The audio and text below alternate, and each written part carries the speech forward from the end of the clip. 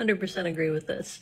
It's not every parent child relationship where the children are estranged from the parents that is a dysfunctional relationship um, where it's the parents' fault. There are as many, probably just as many um, young adults and adults who are estranged from their parents because of their choices.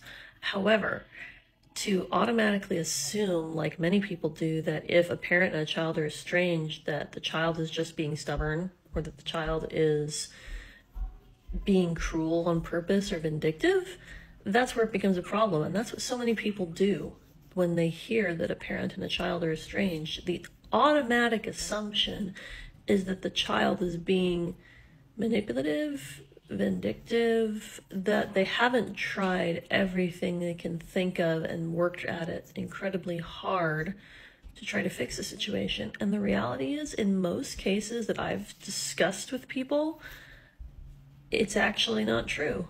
Usually, an adult child finally decides they can't afford to have contact with their parent after years, years of effort, after years of trying to resolve the situation.